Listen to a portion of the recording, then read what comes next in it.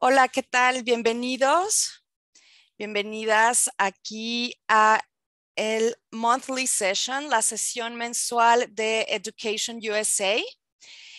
Y el día de hoy los invitamos a todos a mantener su micrófono y su video apagados, a escribir sus preguntas en el chat y comentarles que esta sesión estará disponible en nuestro canal de YouTube. Así como en este momento estamos transmitiendo a través de Zoom y a través de Facebook Education USA México. Eh, les damos la más cordial bienvenida. Vemos que eh, aún se siguen uniendo a nuestra transmisión en vivo.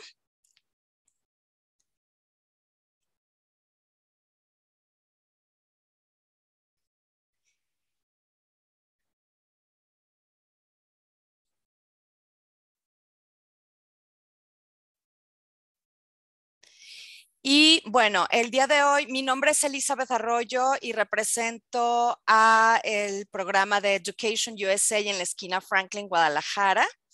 El día de hoy tenemos a nuestro invitado especial, quien es Arturo Barrio de University of Texas at El Paso, quien hablará acerca de precisamente las oportunidades que hay, eh, que hay de estudios de posgrado para latinos en Estados Unidos. Y también presentará a su universidad, a University of Texas at El Paso. Al final de esta sesión tendremos una sesión de preguntas y respuestas.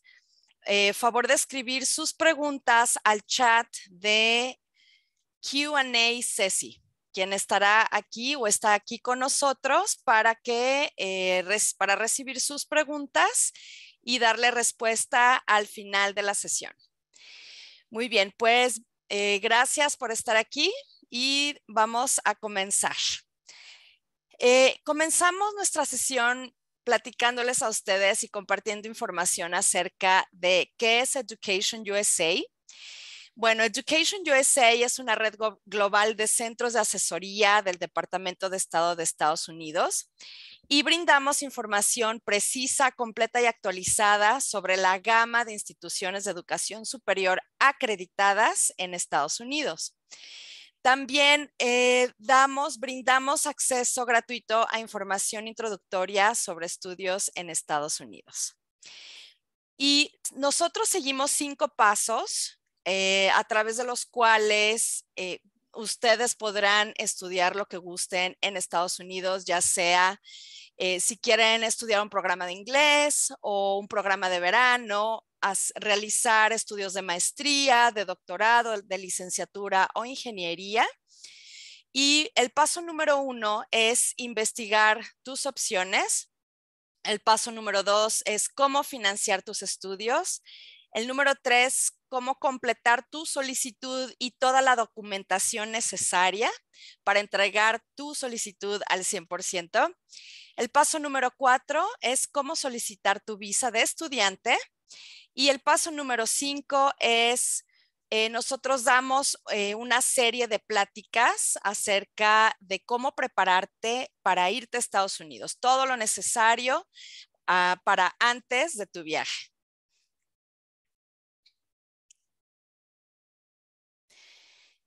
Muy bien, acerca del paso número uno, que es investigar tus opciones. Eh, existen casi 4.000 instituciones de educación superior acreditadas en los Estados Unidos y Education USA te ayuda para encontrar la universidad que mejor se adapte a tus necesidades académicas, financieras y personales en un calendario de 12 a 18 meses antes del año académico, antes de que comience tu programa. Eh, tenemos, eh, recomendamos algunos buscadores para eh, definir tus prioridades como petersons.com y gradschools.com. los invitamos a ya sea que tomen captura de pantalla o que tomen fotografía de los enlaces que les presentamos aquí para que ustedes puedan realizar su investigación posterior a esta presentación. El paso número dos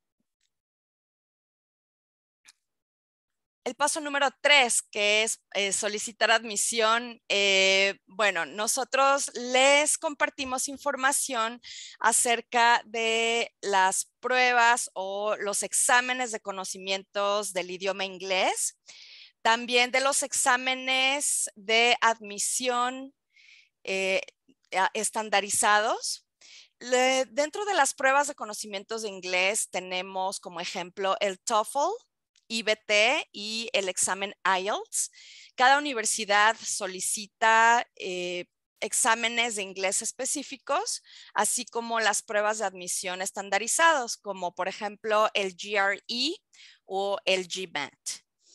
También otro requisito importante es el ensayo, el cual cada universidad también va a pedirles a ustedes que entreguen uno o varios ensayos en donde ustedes escribirán acerca de su intención de estudiar eh, el programa, el cual quieren estudiar en, determinada universidad.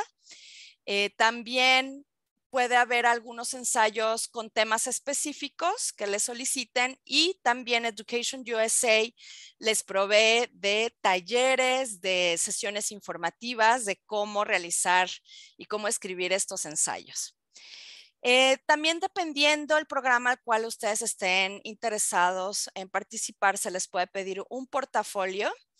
Eh, por ejemplo, quienes estén interesados en estudiar una maestría o un doctorado eh, relacionado con las artes, por ejemplo, van a, presentar un portafolio con, ya sea de manera digital probablemente mostrar también algunas de sus obras de arte o de sus diseños, ¿verdad? Pero es importante también ir eh, teniendo evidencia de, su trabajo eh, cuando ustedes lo, tengan. Eh, también se solicitan cartas de recomendación. Aquí en, en Education USA les comentamos eh, les damos algunos tips de cómo, cómo solicitar sus cartas de recomendación. Sus calificaciones son muy, muy importantes para que durante toda la licenciatura eh, pues estén teniendo un aprovechamiento académico este, bastante bueno y poder competir en un futuro con sus calificaciones. Así como también eh, presentar su solicitud en línea ¿verdad? Junto con toda la documentación y con todos los datos que se le solicite. Y al final pagar su cuota de solicitud, que en muchas ocasiones esta cuota de solicitud no, no se cobra por algunas universidades. Muy bien, hablando de las pruebas estandarizadas, hace rato mencionamos acerca de eh, las pruebas o los exámenes de inglés. Estos son algunos ejemplos. Estos precios pueden variar, pero los invitamos a que entren a, las ligas que se encuentran aquí para este, tener la información actualizada, ya sea de IELTS, de TOEFL, IBT y también del examen Duolingo. Como exámenes estandarizados de conocimientos, pues tenemos el GMAT y el GRE y también con los, las ligas a las páginas web de cada uno, de los administradores de cada uno de estos exámenes.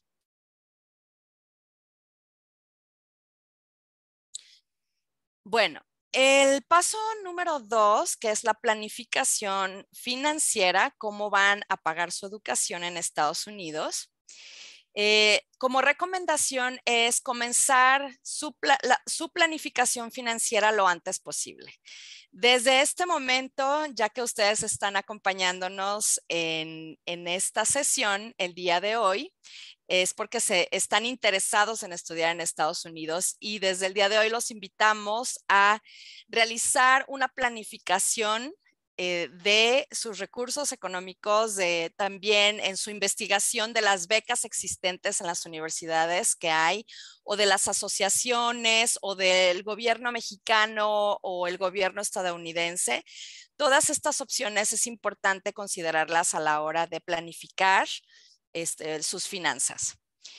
Eh, así también como eh, al acercarse con su, con su asesor de Education USA, se les van a dar herramientas para que ustedes investiguen información acerca del costo de vida en donde se encuentra ubicada la universidad o las universidades a las cuales ustedes vayan a solicitar admisión. Es muy importante eh, pues ver también el costo de vida de la ciudad, eh, el costo de sus estudios, de los materiales, de todos, de todos esos aspectos, ¿verdad? Que este, van a generar un gasto una vez que ustedes estén en Estados Unidos. Y comentarles que dependiendo en la región, en la ciudad en donde se encuentren, pues este costo de vida va a variar. Em, también aquí eh, nosotros les podemos compartir ya sea con su asesor o también nosotros tenemos webinars en, ya hechos en donde eh, pues varios representantes de universidades de Estados Unidos o estudiantes o ex estudiantes que ya han estudiado en Estados Unidos les pueden también eh, dar muchísimos tips importantes sobre cómo reducir los gastos una vez que desde antes para la planificación y ya que están viviendo en Estados Unidos. Y pues bueno, también alentarlos a que busquen oportunidades especiales y ayuda financiera como les comentaba, a través de su asesor o a través de los webinars en nuestro canal de YouTube, pueden eh, buscar estas oportunidades especiales y también eh, consultando las páginas web de las universidades que les interesen. Ahí también vienen muchas veces consejos de la misma universidad o de los diversos departamentos que tiene cada una de las universidades para que ustedes puedan ahorrar una vez que están estudiando en Estados Unidos. Eh, también es importante enviar su solicitud de ayuda financiera junto con su solicitud de admisión. Eh, muchísimas universidades solicitan que ambos procesos se lleven al mismo tiempo. Algunas universidades probablemente puedan, puedan pedirles que primero soliciten admisión y después, una vez que son admitidos, pues ya que soliciten la ayuda financiera. Pero les podemos decir que en base a nuestra experiencia en general, las dos solicitudes se llevan al mismo tiempo. Y bueno, este es un ejemplo de algunos de los gastos eh, que ustedes van a tener que hacer una vez que quieran solicitar admisión a las universidades en Estados Unidos. Em, muchas universidades piden una cuota de solicitud de admisión, ¿sí? O les podemos decir que todas las universidades solicitan esta cuota, pero en ocasiones esta cuota este, no se cobra, ¿sí? Por distintas circunstancias, entonces también esto es una ayuda para ustedes el, no pagar esta cuota o solicitud o probablemente una reducción de esta cuota, entonces hay que estar al pendiente de esto.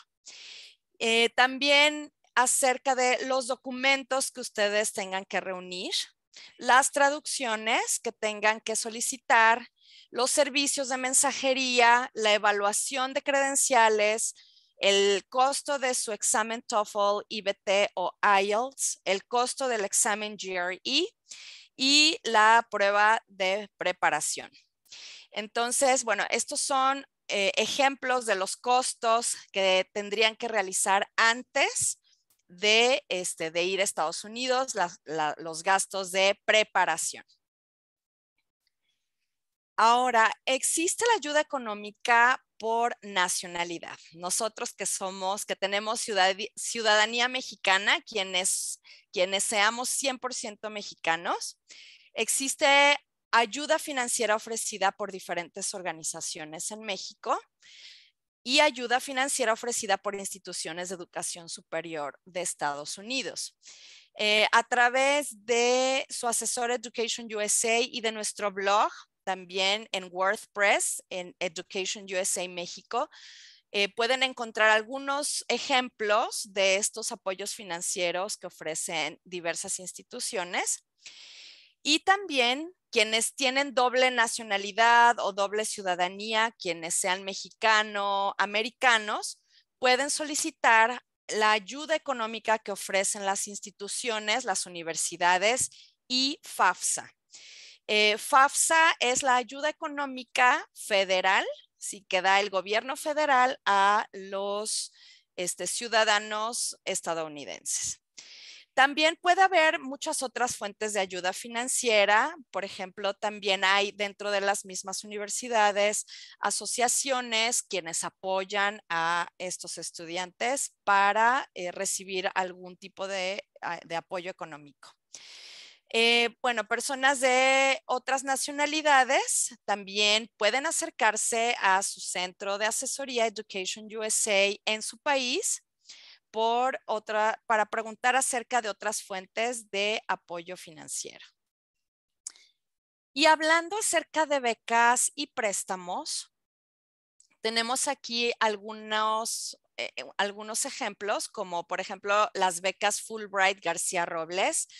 Eh, acérquense a Comexus ¿Quién, es el administrador de las becas Fulbright García Robles. Como ejemplos tenemos la beca de estudios de posgrado, la beca STEM regional, la beca de negocios binacionales y también tenemos aquí en México CONACIT, tenemos también becas para mujeres. Eh, de hecho, eh, va a haber una oportunidad dentro de poco eh, para mujeres en las ciencias eh, tenemos becas internacionales de la Asociación Estadounidense de Mujeres Universitarias, la beca Amelia Earhart. Entonces, todas estas, estas becas, estos ejemplos de becas, también ustedes podrán encontrar cuando abren la convocatoria, ya sea en sus páginas web o en la página de Facebook Education USA México, que es en donde publicamos todas estas oportunidades y, muchas más.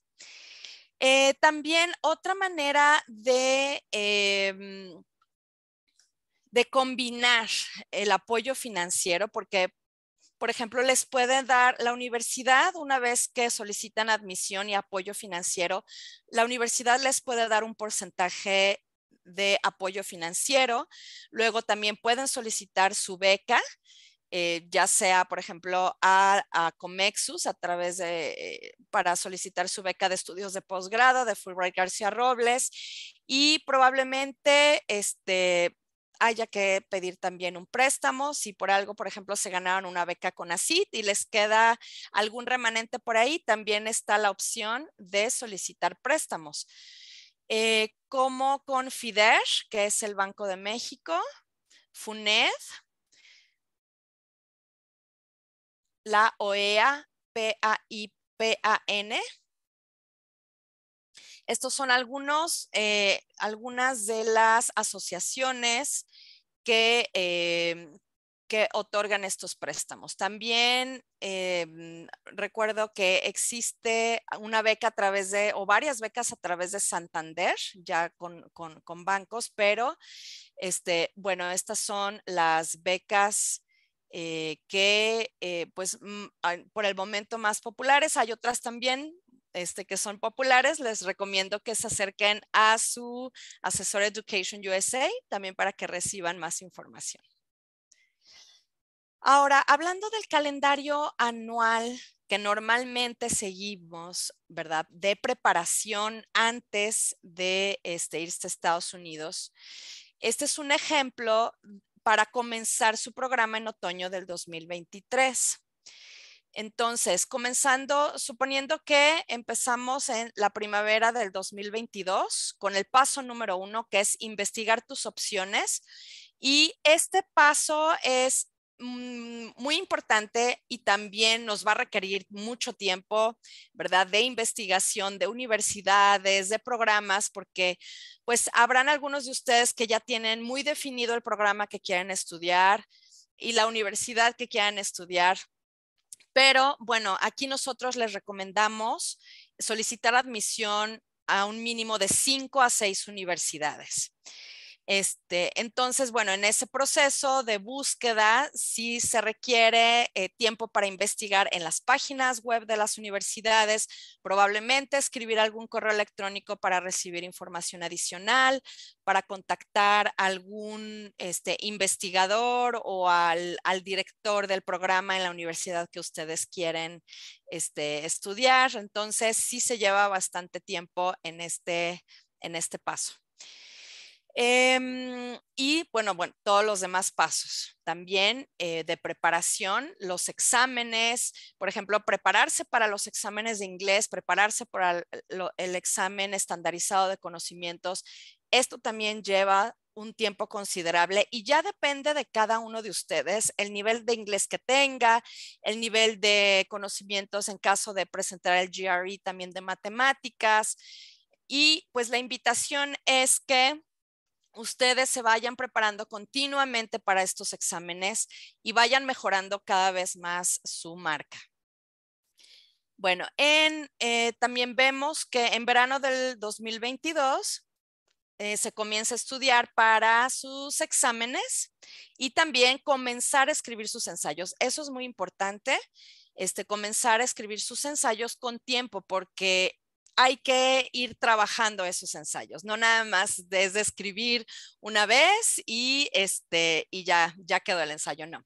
Este es un proceso que este, se va mejorando y que también probablemente haya información que en el momento en, en, el que escriben su ensayo por primera vez no tengan muy claro integrar y con el tiempo ustedes van a ir integrando información importante. Entonces, ese ensayo también tiene que ir evolucionando.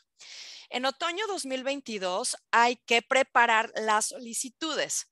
Por ejemplo, este, bueno, las solicitudes eh, son em, virtuales y eh, ustedes pueden, eh, por ejemplo, generar una cuenta e ir integrando poco a poco documentos, información durante varios meses, ¿verdad? Hasta que ya tengan por completo su solicitud este, para enviarla.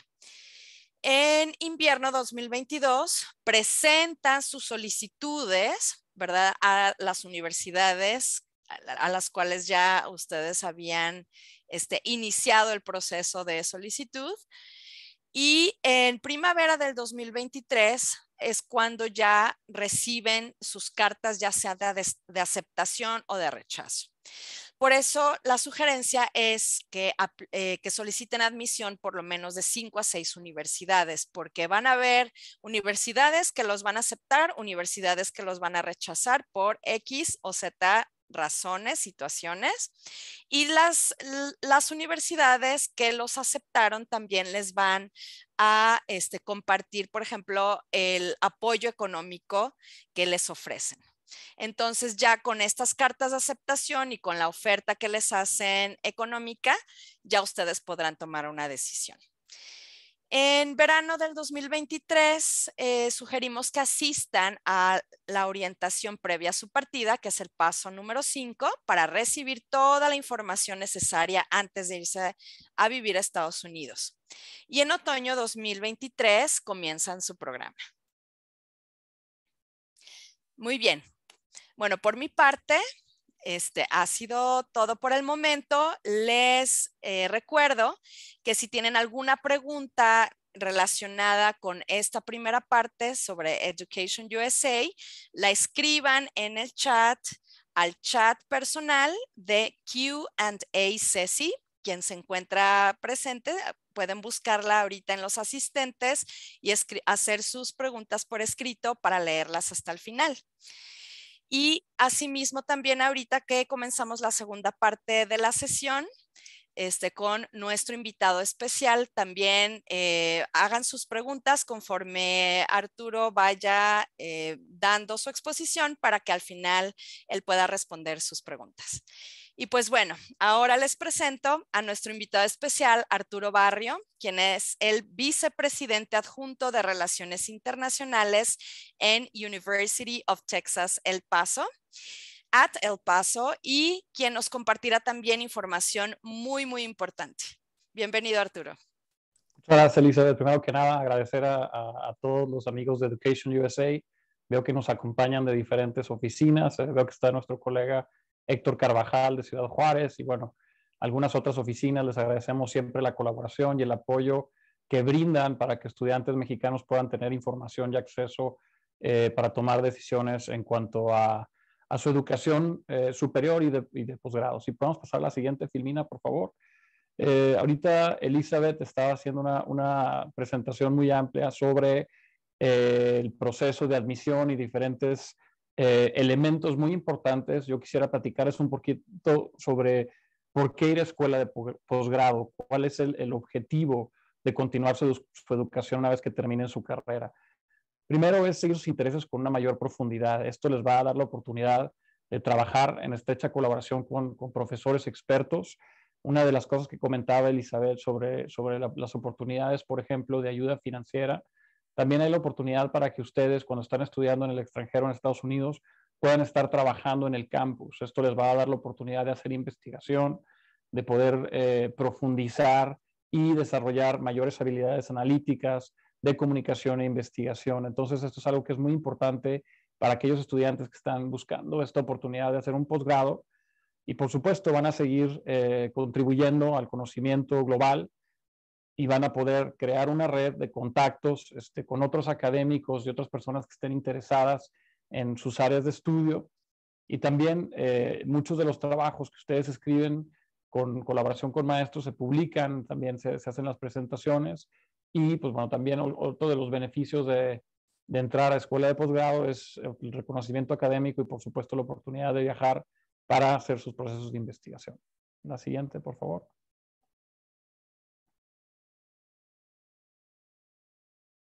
Eh, la educación de posgrado es una, una, breve descripción. Tenemos los programas de maestría y tenemos también certificaciones de posgrado. Son algunas certificaciones cortas. Y por supuesto los programas de doctorado. Como mencionaba Elizabeth, hay más de 4.000 universidades en Estados Unidos eh, que ustedes pueden encontrar su área de estudio, su área de expertise.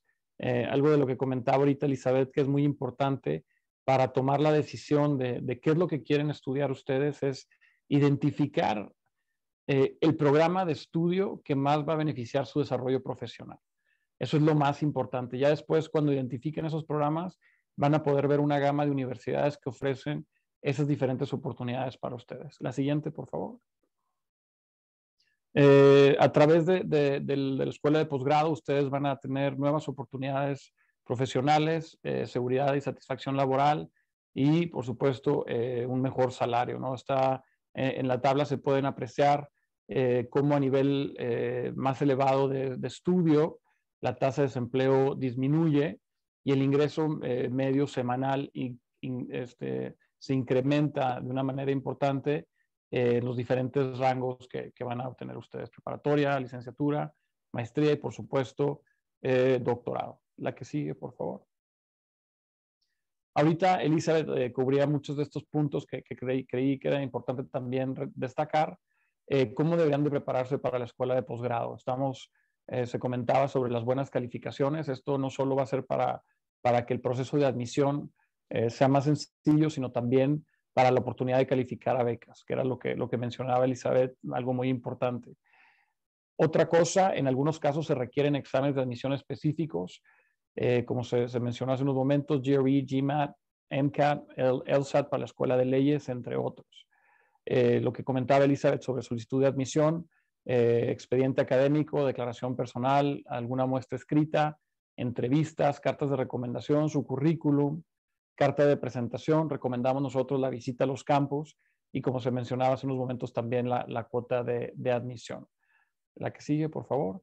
Algo que es muy importante de lo que mencionaba ahorita Elizabeth sobre el tema de eh, la línea del tiempo o el calendario para que ustedes se puedan preparar para eh, empezarse a, preparar para la escuela de posgrado, yo sí les recomiendo que una vez que identificaron el programa, eh, que, están buscando, ya sea de maestría o doctorado. Y algo que es muy importante es que en Estados Unidos ustedes en algunos programas pueden entrar directamente al doctorado sin hacer la maestría. Entonces, una vez que identifiquen ese programa, verifiquen las fechas de admisión, porque a diferencia de, la escuela de licenciatura, los tiempos de admisión de los posgrados varían. Entonces, por eso es muy importante que eh, una vez que identificaron el área de estudio, eh, puedan identificar el programa que quieren y la universidad y verificar los tiempos para que estén en sintonía con el proceso de admisión.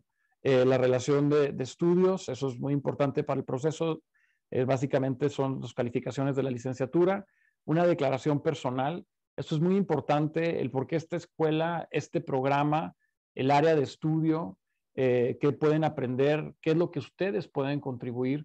Esto es algo muy importante sobre ustedes. ¿Cuál es el valor agregado de que la universidad, eh, cuál es tu valor agregado como estudiante para que la universidad te acepte? ¿Qué es lo que tú traes a este proceso de admisión, a, este, a, este, eh, a esta universidad o a este programa de estudio? ¿no?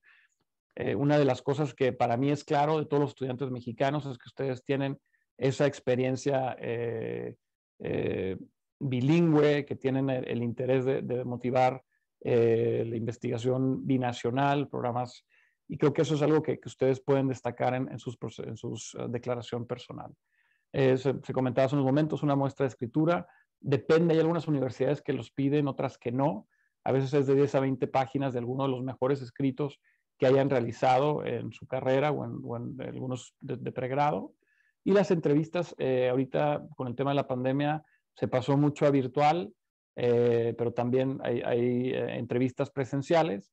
Aquí yo lo que sí les recomiendo es que hagan, que practiquen, eh, de estar viendo la cámara donde tienen que estar viendo la cámara, que puedan hacer varias sesiones de práctica para que cuando estén frente a los consejeros académicos sea algo muy natural y no, no tengan ningún inconveniente de utilizar la plataforma que van a hacer, sino que estén, estén preparados para, para esa, esa entrevista que debido a que si es virtual es un poquito distinto de, la parte presencial. La que sigue, por favor.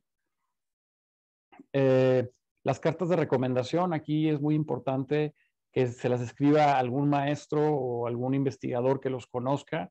Eh, a veces piden de, su trabajo o de, alguna, de algún profesional que haya, haya colaborado con ustedes. Es muy importante que hablen sobre ustedes y no solo sea este, se sacó una muy buena calificación en mi clase, este, participaba, sino eh, este estudiante se nota que tiene pasión por eh, esta área de estudio, ha estado haciendo prácticas profesionales o su eh, dedicación profesional ha estado enfocado, etcétera. Que algo sea algo más que, que, una buena nota, la carta de recomendación. Mientras más tiempo de anticipación la soliciten, va a ser mejor para ustedes, para que los, los profesores se puedan preparar y tener el tiempo de, de escribirles una muy buena carta de recomendación.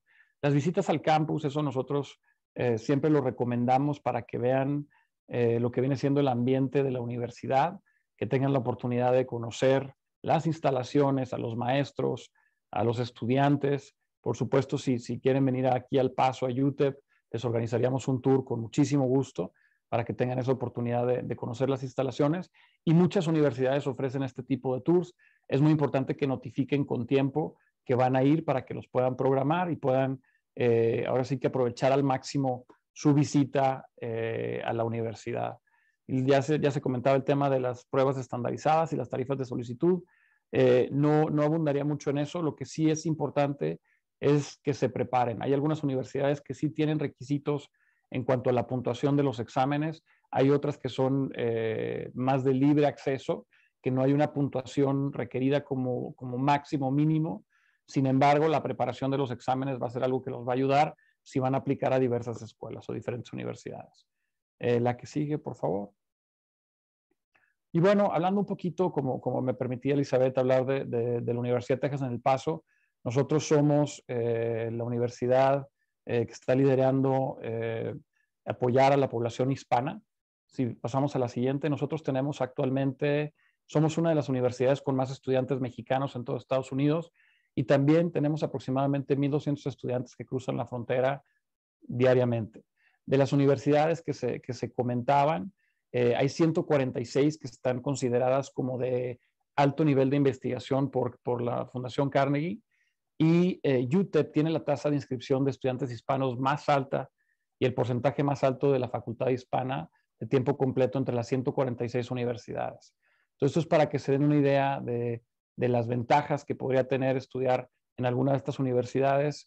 eh, relacionado a la, familiaridad que tendrían con estudiantes mexicanos y bueno, para que se puedan sentir aquí en, casa. La que sigue, por favor. También UTEP ofrece un programa que es el programa de asistencia estudiantil o el programa PASE.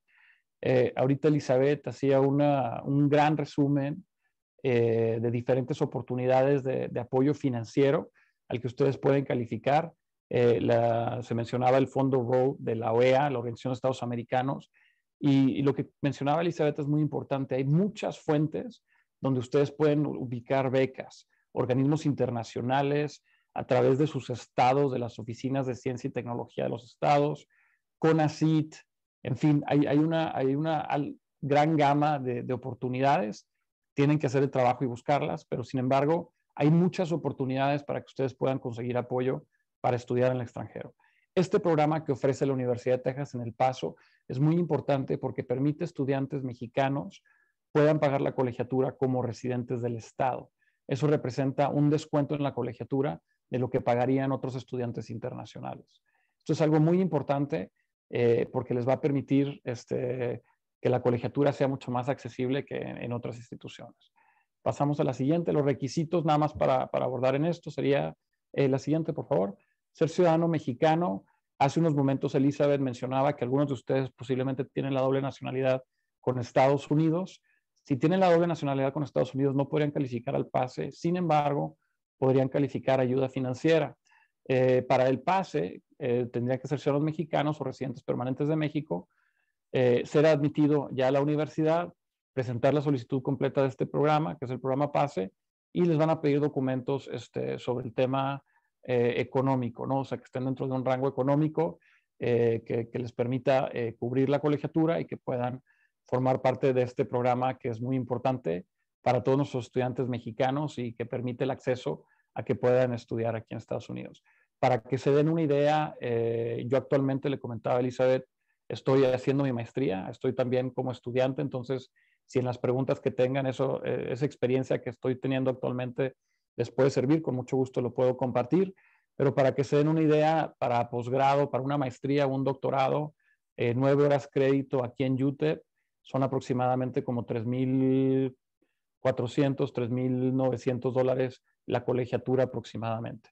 Lo que mencionaba Elizabeth es muy importante, que viene siendo el costo de vida.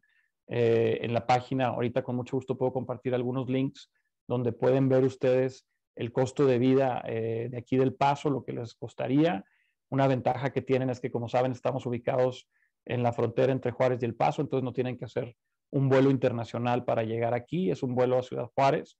Muchas de las capitales tienen vuelo directo a Juárez.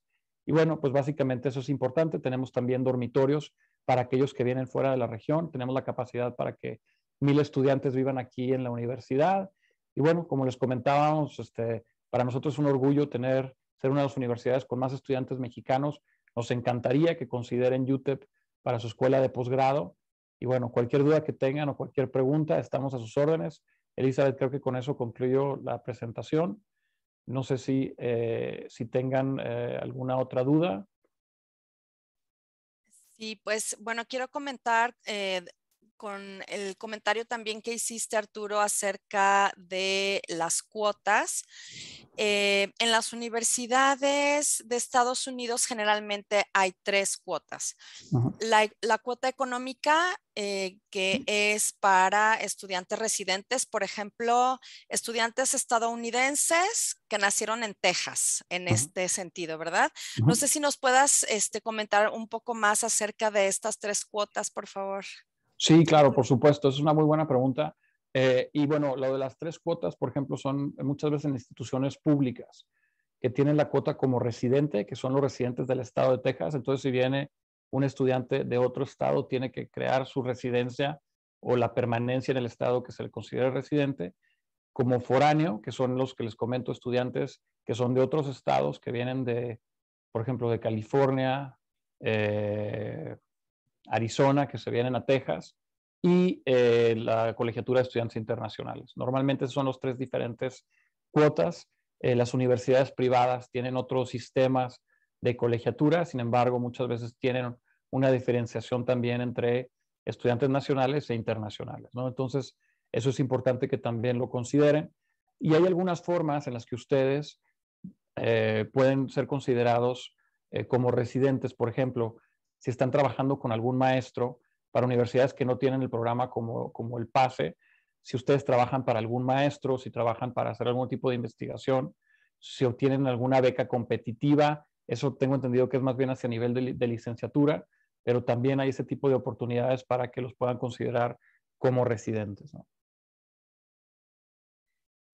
Excelente, gracias por esa información, Arturo. Y este, ¿qué, ¿qué, consejo les puedes dar tú como, este, como mexicano estudiando tu maestría allá en, en, en, en Texas, en Estados Unidos?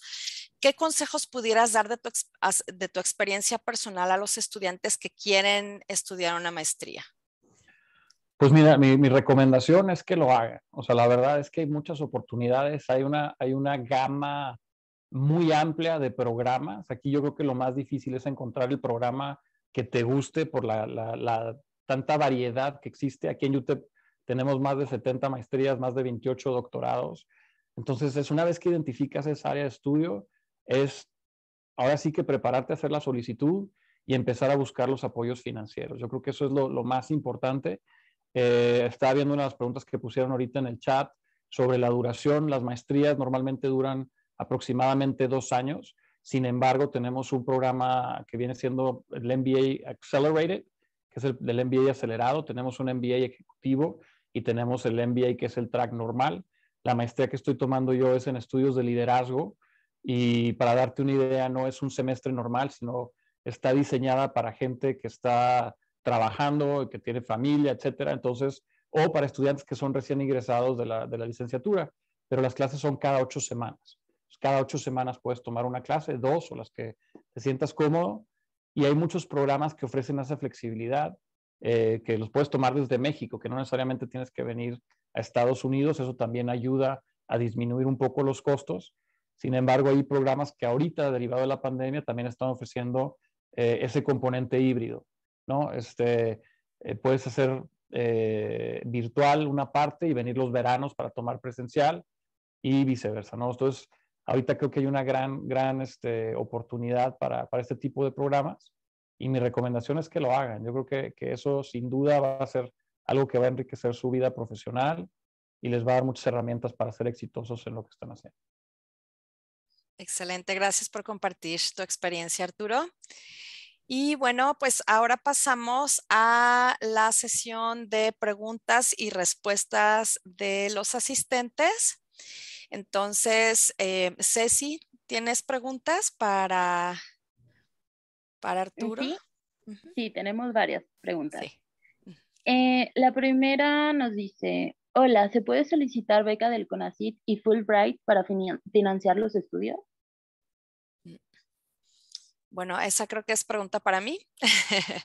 y este, sí, de hecho, eh, cuando tú aplicas a Fulbright, Sí, em, Fulbright se encarga de eh, guiarte en todo el proceso de admisión, desde la preparación, desde tu preparación para realizar los exámenes estandarizados hasta para solicitar admisión a las universidades de Estados Unidos.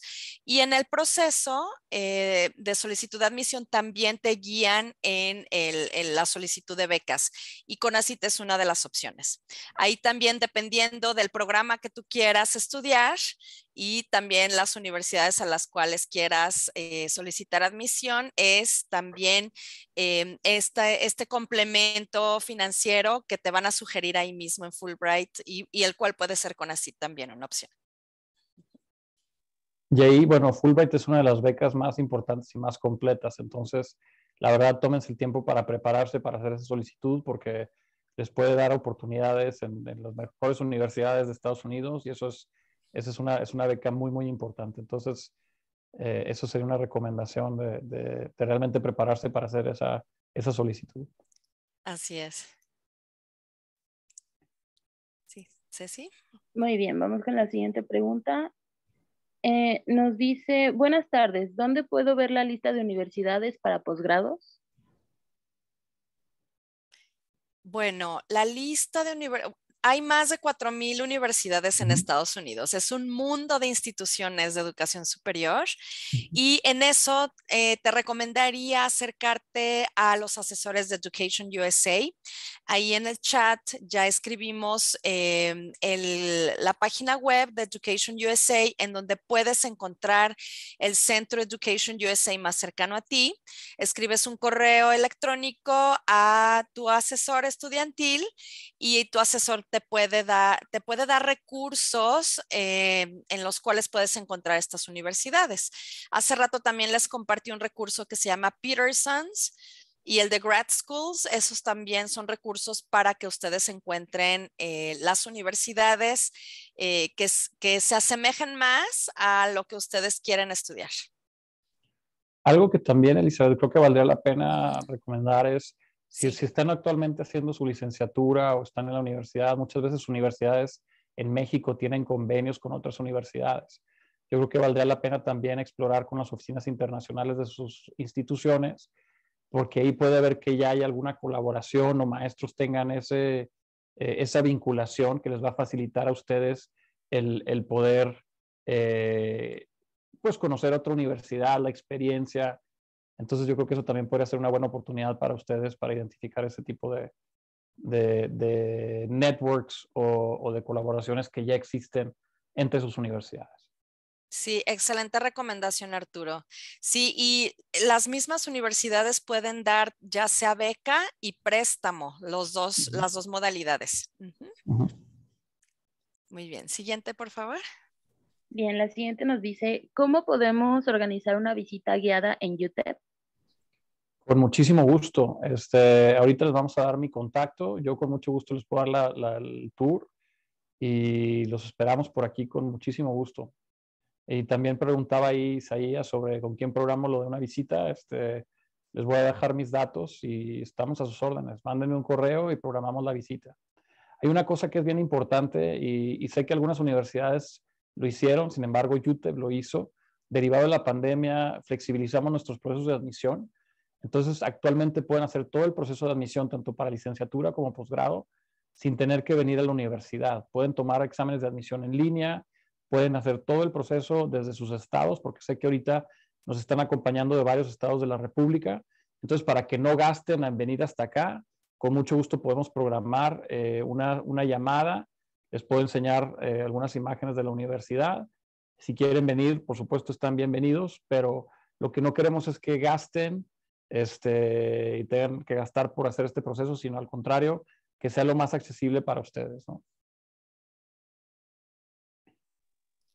Gracias. La siguiente pregunta dice, ¿con quién nos podemos dirigir para pedir que no nos cobren la solicitud de admisión a UTEP? Eh, la solicitud de admisión en UTEP tiene un costo, es un costo mínimo, son como 45 dólares. Eh, es lo que cuesta para la parte de maestrías y son 65 para licenciaturas. Este, entonces, sí, sí la, la solicitud de admisión sí tiene un costo. Sí, hace rato mencionaba que, este, bueno, hay algunas universidades que sí dan esa exención de pago de cuota, pero no todas. Y también puede ser que esas universidades este, den esa exención a un tiempo limitado. Sí, ya depende de muchas circunstancias, pero eh, bueno, lo que les compartí hace rato son como la, una cuota aproximada entre 35 y 100 dólares, es lo que cobra una universidad más o menos por esa cuota de, de admisión. Siguiente, por favor. Muy bien, nuestra última pregunta dice, hola, ¿hay algún programa de madres que se adapte al acceso de vivienda con hijos? Sí, nosotros, sí, claro. ahorita les comentaba que tenemos la, opción para que eh, mil estudiantes vivan en el campus. Tenemos algunos dormitorios que son para familias. Entonces sería cuestión de identificar la situación y ver este, el proceso de si van a doctorado, si van a maestría y analizar la situación específica, pero con mucho gusto lo podemos checar. Les acabo de poner ahí en el chat el proceso de admisión para estudiantes internacionales. Como mencionaba Elizabeth, si ustedes son americanos o tienen la doble nacionalidad, el, proceso es un poquito distinto, pero ahí van a ver paso a paso qué es lo que tendrían que hacer para, para el proceso de admisión. Sí, hay dos preguntas más en el chat, ¿verdad, Ceci? En el... Bueno, aquí me llegó una pregunta a mí y dice, ¿se puede aplicar a más de una beca a la vez?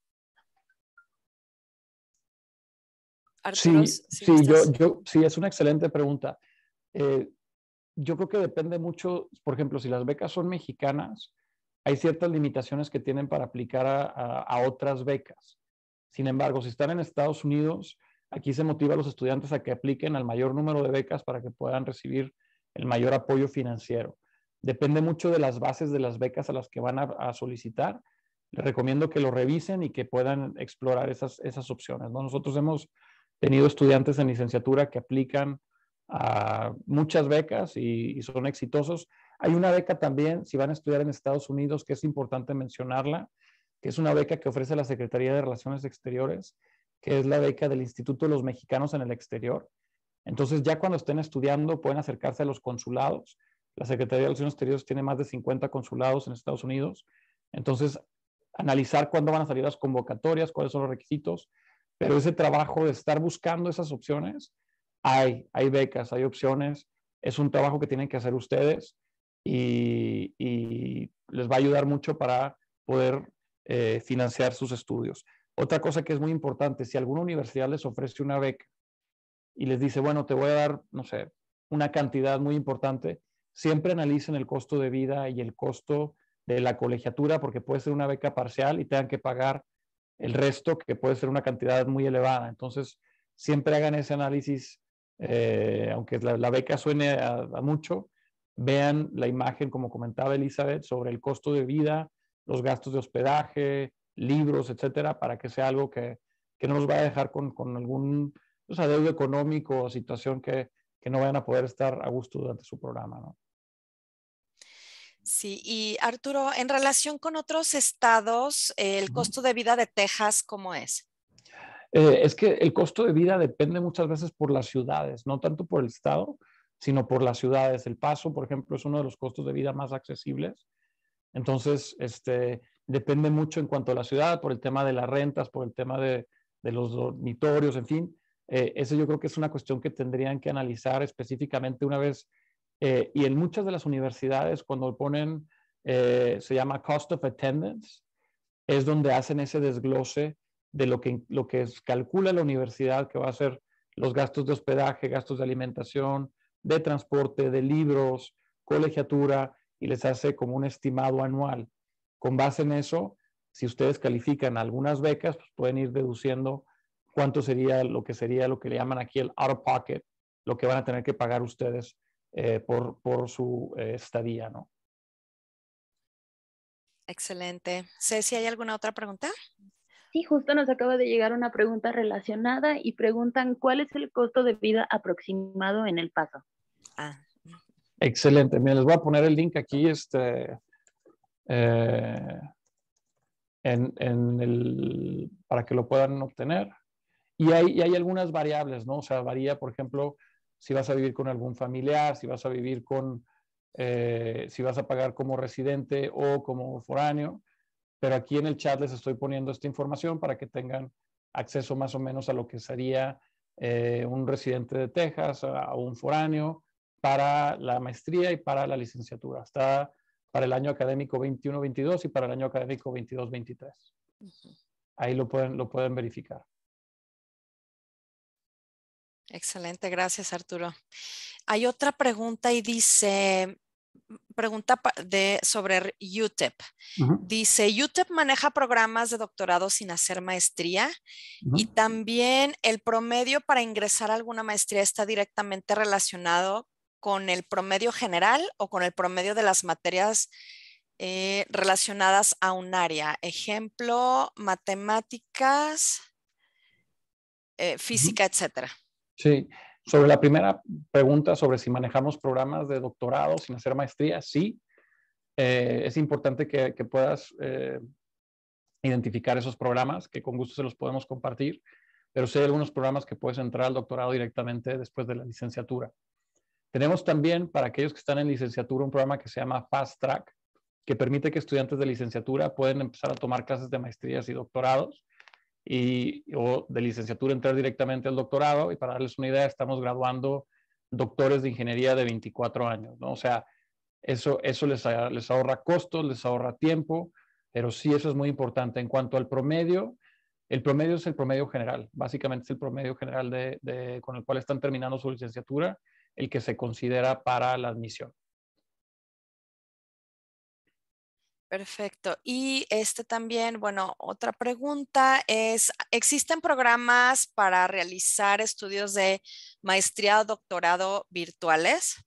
Sí tenemos, tenemos este, algunas maestrías y doctorados. Con mucho gusto les puedo poner también en el chat la información sobre los programas que tenemos en línea. Excelente, muy bien. Ceci, ¿alguna otra pregunta? No, Eli, son todas las preguntas. Excelente, muy bien. Ahí está ya el último vínculo, es el de la eh, UTEP Connect, que es donde viene la información sobre los programas. Tenemos de licenciatura, eh, de maestría, doctorados y también tenemos certificados eh, de posgrado, que también sería importante por si les interesa fortalecer algunas áreas de su conocimiento.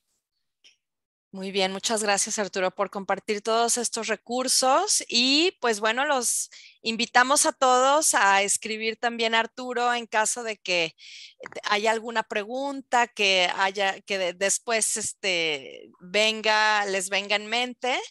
Este Arturo con mucho gusto les va a responder y también eh, pues los puede apoyar dando algunas recomendaciones en cómo aplicar a UTEP este, y bueno, la recomendación también de encontrar a su centro de Education USA más cercano a través de la liga que les compartimos en el chat y eh, que es educationusa.state.gov y pues también que revisen todos los recursos que hay en nuestra página oficial. Pues muy bien, pues muchísimas gracias por haber asistido el día de hoy. Muchas gracias Arturo por eh, toda la información que compartiste a nuestros asistentes y a todos y a todas por haber asistido el día de hoy. Arturo acabó de compartir ahorita en el chat también este, su información de contacto, su correo electrónico y el teléfono de su oficina. Aprovechen porque no hay muchos representantes de universidades también que hablan español y que han vivido la experiencia que ha vivido Arturo como estudiante eh, y, eh, mexicano en Estados Unidos. Entonces es una gran oportunidad. Muchísimas gracias. Mucho gusto de verlos y hasta pronto. Muchísimas gracias a todos. Gracias, Elizabeth. Y me dio mucho gusto. Les aprecio a todos el tiempo de acompañarnos. Muchas gracias.